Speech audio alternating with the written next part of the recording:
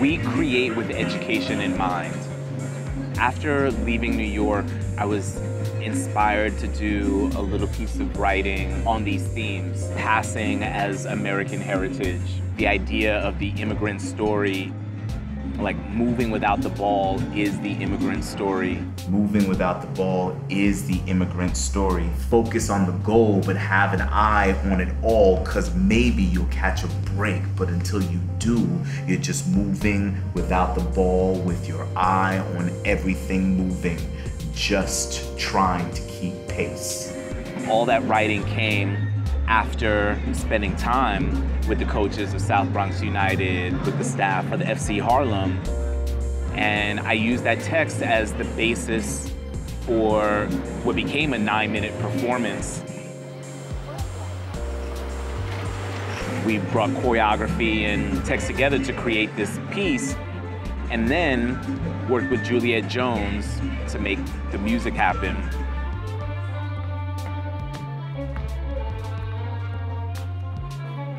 And then finally, working with the coaches of South Bronx United and working with the coaches of um, FC Harlem to teach them what we developed in the Bay.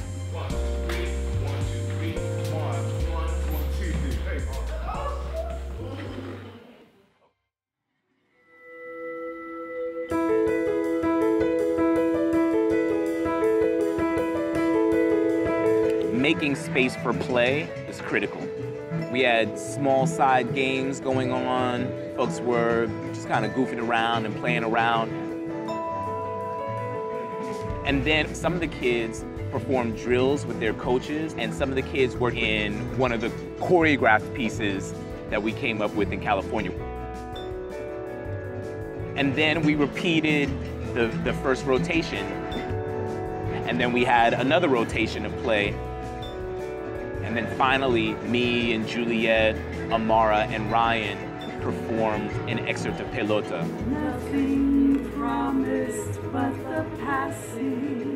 And then the kids were making art with the artists of Culture Strike.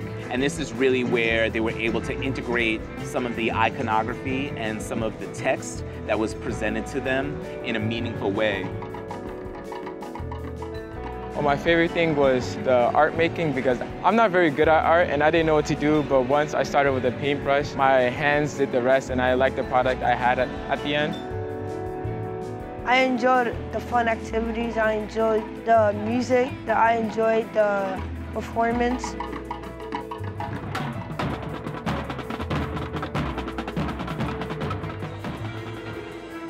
Moving without the ball is the immigrant story strategizing in pace, keeping pace with other lions, lying in wait, then pray, then wait. The, the dances that were happening, each of them were different, but they're all wonderful in each of their ways. My favorite was the last one though because of the message that it sent to people like me living in South Bronx. Who here has a parent that was born in another country? The piece that we just performed is inspired by our parents, inspired by the folks who were born in another country that came here. This idea that the same way that they struggled without necessarily having possession, that's also a strategy for how we work on the soccer field and how we might work as we navigate towards what they used to call the American dream. What I liked about today was that it was all mixed with different kinds of cultures and soccer together. We create with education in mind.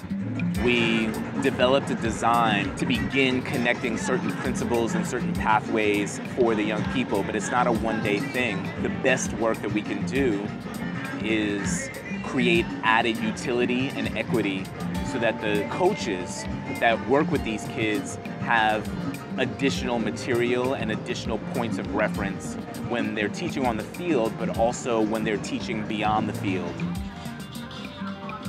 we don't exist in vacuums. It doesn't make sense to compartmentalize poetry over here and dance over here and sport over here and the politics of immigration over here. We are invariably networked in an ecological way, in an environmental way, and in a political way. And we, a people of the land with a border that crossed us, all borders are bogus. That's my line in the sand. I don't know specifically what they'll get. I just know that the beauty of this memory is integrated into their networked practice moving forward. And I, I hope that the wisdom and the elegance, the love that they take from the day will bring added peace to their journey.